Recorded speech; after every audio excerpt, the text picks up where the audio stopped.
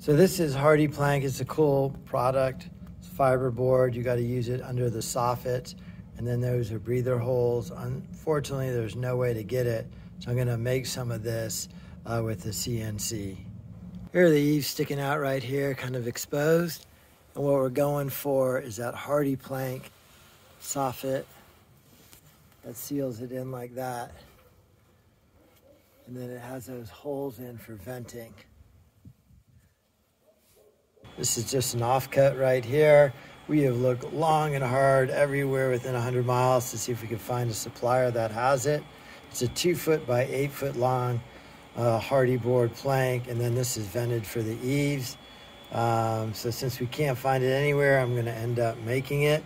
So I just drew some lines through there and found a few dimensions and offsets.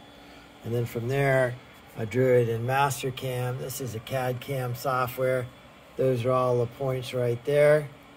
After I'm done all my geometry of drawing it, you can see there's two foot by eight foot.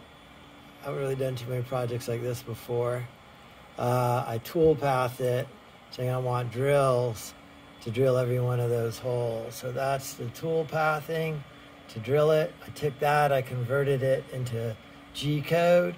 I think it's about 1,400 lines of code, and now it's out in the CNC running. Let's go take a look at that. It's kind of loud for me to talk out there, so I'll just let the video run.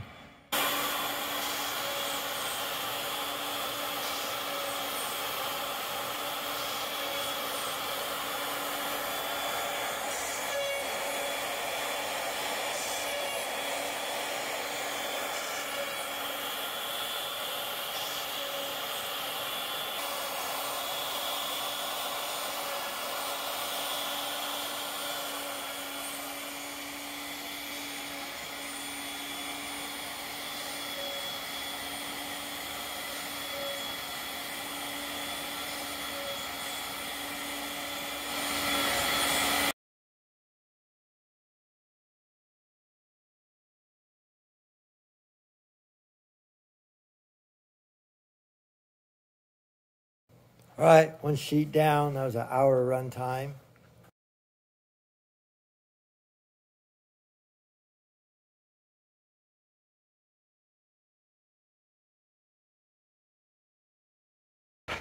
There's a uh, vented soffit delivered.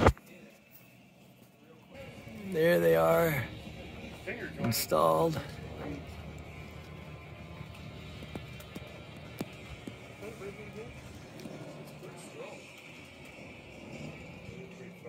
Oops. Huh?